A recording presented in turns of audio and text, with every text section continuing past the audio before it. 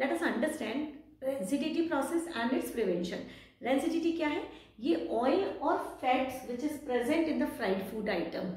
oil और fat का oxidation होके it gives a very bad smelling और bad tasting compounds fat and oil का ऑक्सीडेशन इज़ कॉल्ड रेंसिडिटी यहाँ पे you can not confuse get confuse with the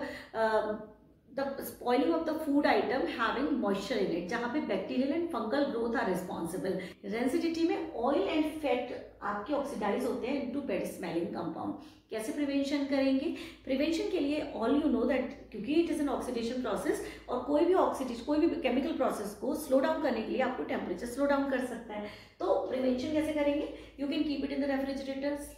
temperature down process slow and rancidity will be slower next is you can store it in the air tight container